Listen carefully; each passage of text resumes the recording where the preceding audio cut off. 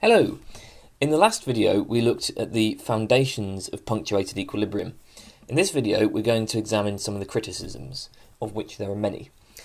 Uh, one critique, suggested by Levinton and Simon, is that punctuated equilibrium is theoretically empty or trivial. Now to understand their critique we need to think a little bit about species. One of the central questions in, uh, in, in biology is how to define species. What exactly is a species? This is known as the species problem, and if you're interested, I've got a couple of videos on this problem, so you can go and look them up. But very briefly, the standard definition of species in evolutionary theory comes from Ernst Mayr, and it's known as the biological species concept. Mayr defines species in terms of reproductive isolation. So species is a group of organisms that can interbreed with each other, but that can't interbreed with any other organisms. Uh, so, uh, what makes two different kinds of dog the same species is that if they were to mate with each other, they would produce fertile offspring. What makes a human and a chimpanzee different species is that if they tried to mate, they wouldn't produce any offspring. Uh, there's a whole bunch of problems with, with this definition. Again, watch my video if you're interested. But it is a, a very nice, straightforward account, and it's um, pretty widely accepted. Uh, but, but there's an obvious problem applying it in paleontology, because all we have is a fossil record. And how are we supposed to know whether two similar fossils were reproductively isolated from one another? So, paleontologists tend to classify species uh, according to the only reliable information they have about them, which is their morphology. Morphology concerns the, the form and features of organisms, as I mentioned, I think, in the last video. So if you look at the fossil of a snail, you can uh, you can determine how big it was, you can determine the conicity of its shell, the structure of spirals on the shell, you can see its texture, whether it was smooth or bumpy, and so on. We classify species based on their morphological features. Levinton and Simon use this point to present the tautology problem. So recall that a central claim of punctuated equilibrium is that species exist in stasis during their lifetimes. And by stasis, we mean that they undergo very little morphological change. Uh, the morphology of a species at its extinction is pretty much the same as it was at its birth. Can you see the problem here? In paleontology, species are distinguished based on their morphological features, so we class two specimens as different species just in case their morphologies are different. In which case, how could we ever show that significant change has occurred during the lifetime of a species? How is it even possible to show that? Uh, I mean, obviously, what we would have to do is find two specimens of the same species that have significantly different morphologies. But if we did find two specimens with significantly different morphologies, they would be classed as different species just by definition, because morphology is how paleontologists distinguish species. So it follows that uh, stasis is is true. Um, species do indeed exhibit very little morphological train, change.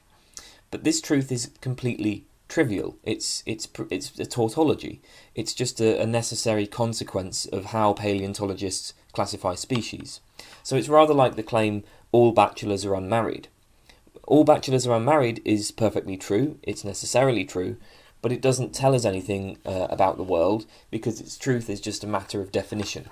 Um, bachelor is defined to mean unmarried man. There's no possible state of affairs in which all bachelors are unmarried is false. So the um, the charge is that it, the same situation applies uh, with with species and stasis. Species are necessarily in stasis. Uh, I, I don't think this is really a serious issue. Um, punctuated equilibrium ultimately is it describes a pattern of macroevolution, and we can test this pattern without talking about species. So, uh, um, what sort of pattern are we looking for? Well, we'd be looking for very rapid emergence of a new kind of form, followed by the stasis of that form. We don't have to talk about species, um, just talk about emergence of a particular morphology over thousands of years, followed by stasis for millions of years. In other words, this sort of pattern. Uh, we saw this image in the last video. This plots um, shell shape over time. Uh, if we saw this, you know, if we saw one form giving rise to uh, two forms and, and then both forms remain in stasis, we have punctuated equilibrium. I mean, I think Levinton and Simon do suggest an important point that it suggests we have to be careful when judging punctuated equilibrium. Uh, we have to, have to be careful when judging stasis, but I think it's it's far too strong to say that the theory is trivial. I mean, this kind of pattern is obviously not trivial, and it, it's um, you know that's that's clearly a substantial claim about the world to say that this is the kind of pattern of macroevolution. Okay, so assuming that punctuated equilibrium does in fact make substantial claims and isn't simply trivial, one of the main concerns uh, about it has been whether it's really possible to test it. Some people have suggested that it, it, it isn't testable. Now, first of all, uh, Gould and Eldredge probably didn't do themselves any favours on this point, because in their original paper they explicitly say that punctuated equilibrium is uh, simply another way of interpreting the fossil record and that it can't be confirmed by empirical evidence. Uh, punctuated equilibrium is sort of just a way of seeing the fossil record. Um, phyletic gradualism is uh, one other way of seeing the fossil record. So here's an explicit quote regarding punctuated equilibrium versus phyletic gradualism. They say, the data of paleontology cannot decide which picture is more accurate.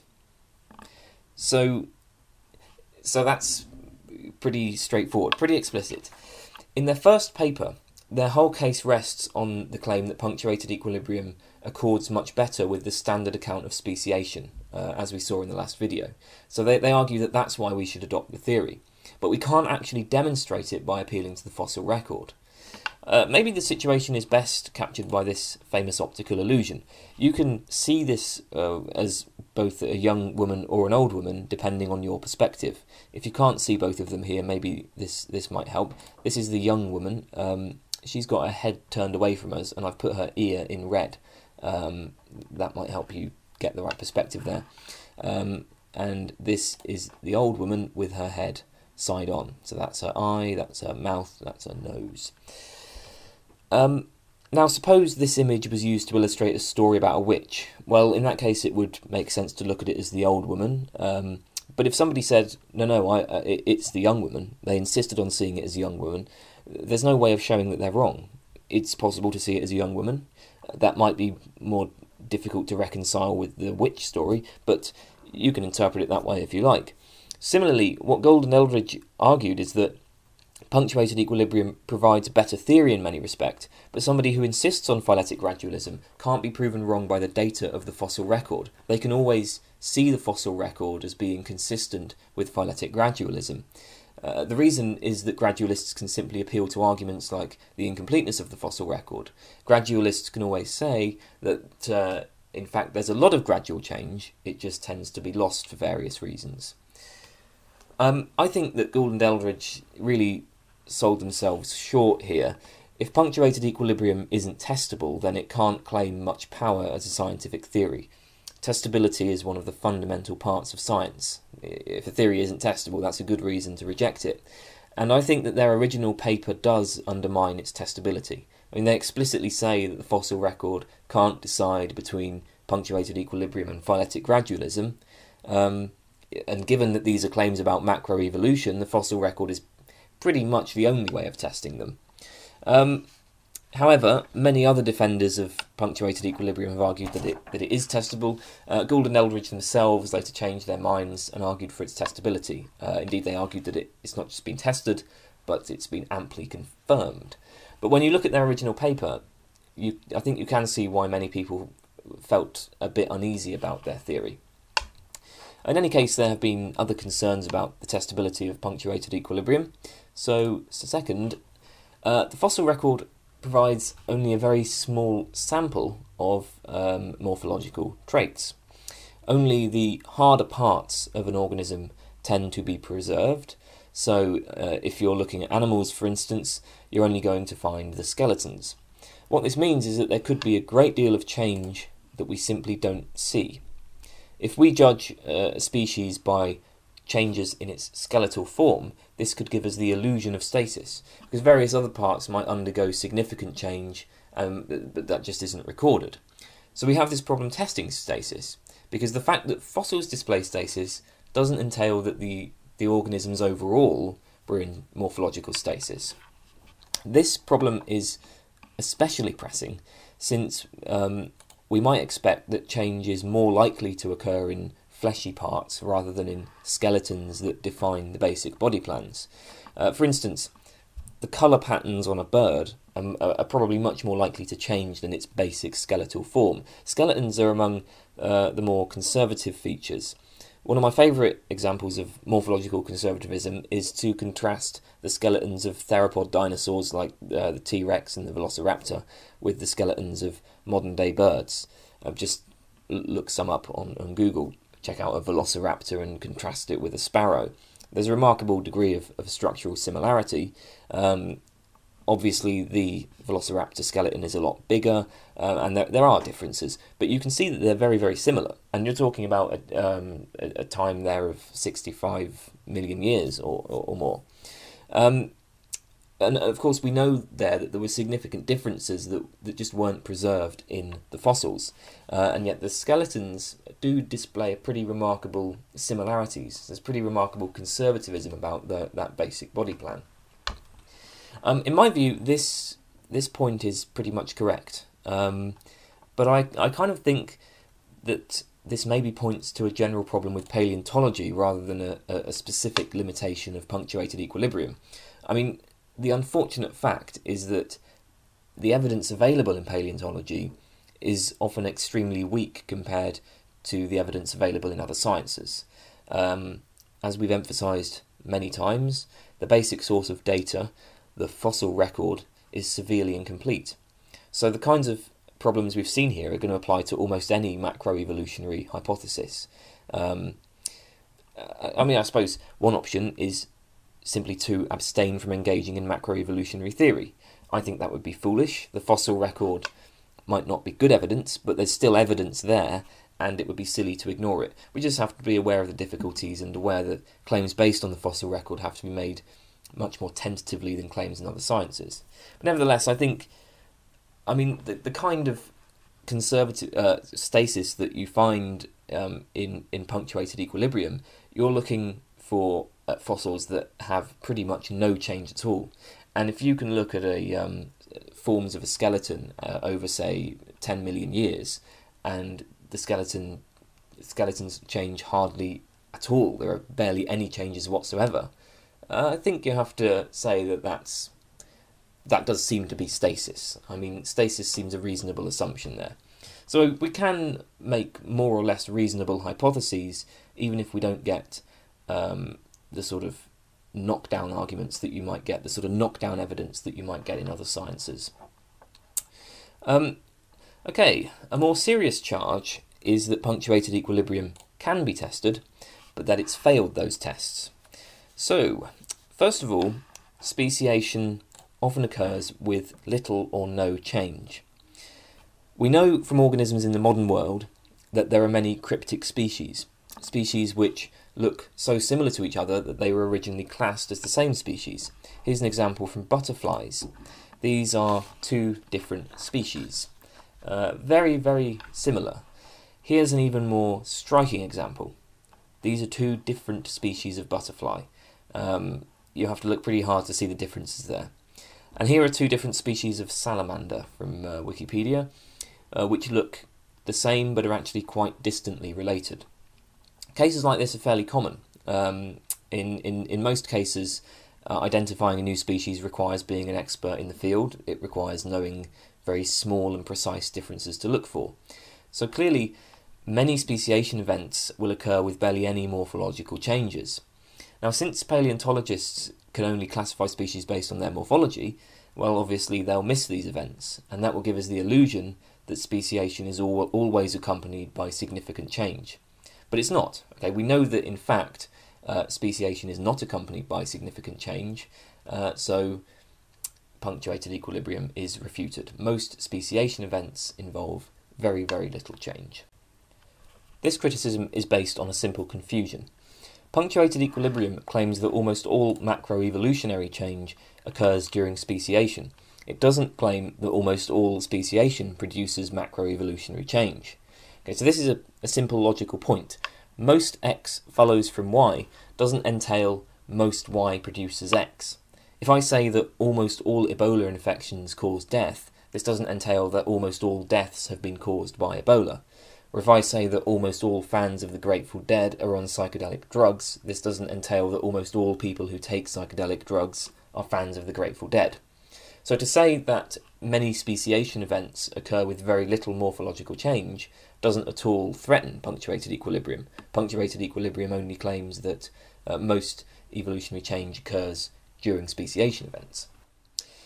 Second, some people have pointed out that genetic changes seem to develop in a gradual and steady manner.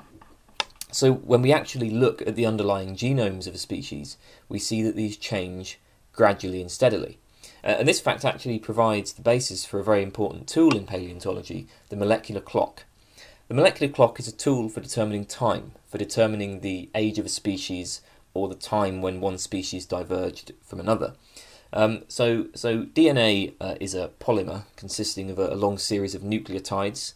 Each nucleotide has one of four possible bases: cytosine, guanine, adenine, or thymine. Um, and this is what makes up the genome, the genetic code.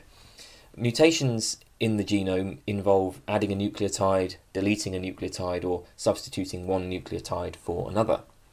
The basic idea of the molecular clock is that nucleotide substitutions occur at a reasonably constant rate. So we can use the degree of divergence between two or more nucleotide sequences to help determine the timing of evolutionary events. Uh, so uh, let's suppose we have DNA sequences from two different species, sequences which we know have a common ancestry because they're very similar, um, because they code for the same genes or whatever. Well, by simply counting the number of differences between these two sequences, we can make an estimate of when the two species diverged. And this turns out to work fairly well. Here's a figure from Futuyma's evolution textbook. The x-axis is time, and uh, the y-axis is the number of nucleotide substitutions. The black line represents the, the estimated time of divergence given by the molecular clock, um, and the, the red and green dots represent uh, pairs of living species who diverged at the, at the time shown based on fossil evidence. So this dot is a pair of species who we know from fossil evidence diverged uh, about 90 million years ago. Um, this dot is a pair of species who we know diverged about 75 million years ago. Now, as you can see, the molecular clock is pretty accurate. It's not perfect, but it's it's pretty good. Now, obviously, if we know from the fossil record when species diverged, we don't need molecular clocks. But there are many species whose divergence isn't represented in the fossil record. So if we have a pair of species for which the fossil record is absent, we can look at their DNA sequences. And let's say we had 25 nucleotide substitutions, well, we can predict that they probably diverged about 30, maybe, or 27, or whatever, million years ago. Now, the basis of molecular clocks clearly undermines punctuated equilibrium. For molecular clocks to be reliable, we need genetic changes to tick in a reasonably steady fashion, in a, in a clock like fashion. So, stops and starts, stases and punctuations, that, um, that completely undermines their reliability. But as you've just seen from that graph, molecular clocks uh, do seem to be reasonably accurate. Uh, again, this criticism rests on a confusion. Punctuated equilibrium concerns the evolution of phenotypes, not genotypes. The genotype phenotype distinction, if you're not familiar with it, uh, it's fairly simple. The genotype of an organism is its genetic information that was passed on to it from its parents. It's the genes that are encoded by its, its DNA and contained in its cells. The phenotype of an organism is its physical characteristics. Now, importantly, a difference in the genotype doesn't imply a difference in the phenotype. Um, a great deal of genetic change is neutral. The majority of mutations make no difference to an organism's fitness. Um, the genomes of many species, especially eukaryotes, contain large amounts of non coding DNA. Uh, D- that's DNA that doesn't seem to have any function for the organism. Obviously, mutations in these sequences uh, will make no difference even in DNA that does code for, uh, for proteins and that maybe performs essential functions, mutations can be neutral. This is because of the degeneracy of the genetic code. Proteins are built out of amino acids, and in DNA, a sequence of three nucleotides called codons corresponds to each amino acid. And there are 64 possible codons but only 20 amino acids. So different codons code for the same amino acid. For instance, uh, amino acid serine is coded by TCT, TCC, TCA, and TCG. Now, a mutation from TCT to TCC, that's obviously going to make no difference to the phenotype.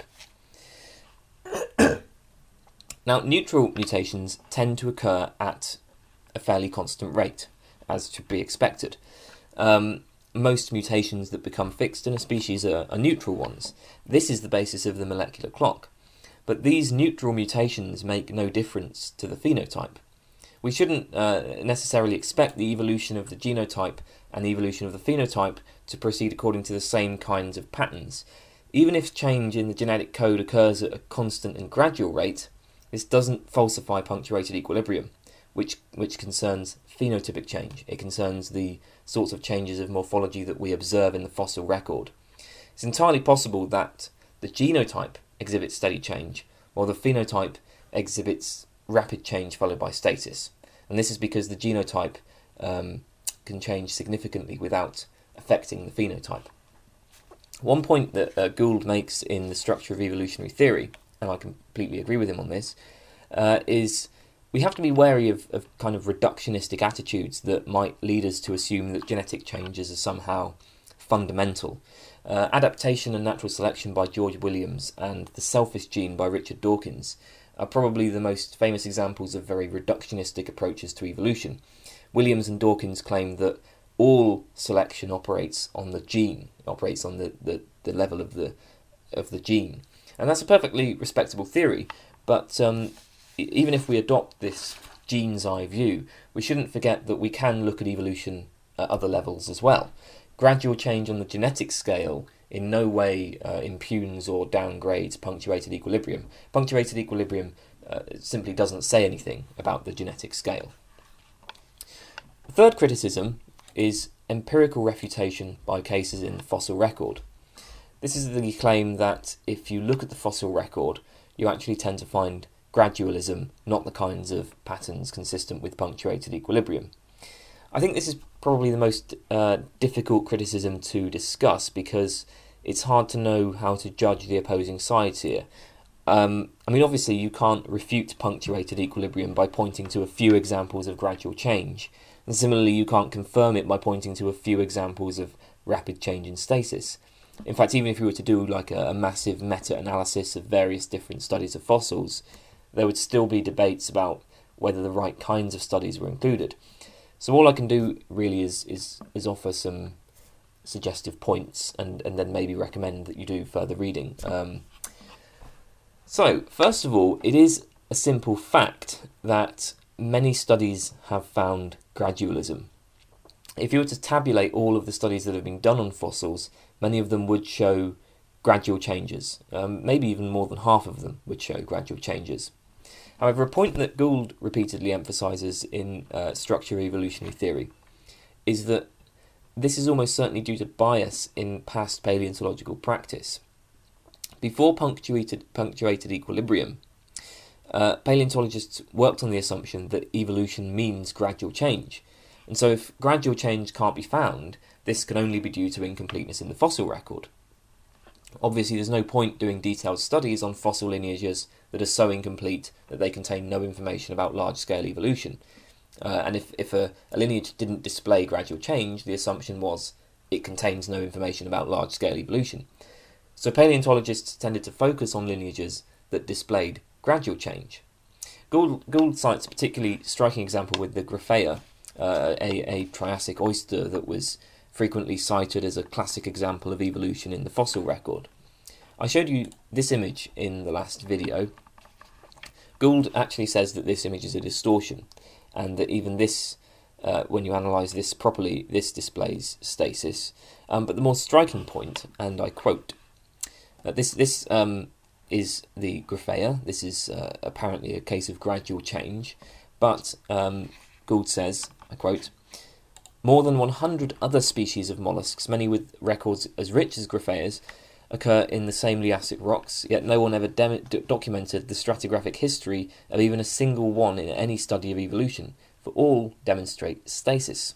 scientists picked out the only species that seemed to illustrate gradualism. Nobody bothered recording stasis because stasis wasn't interesting.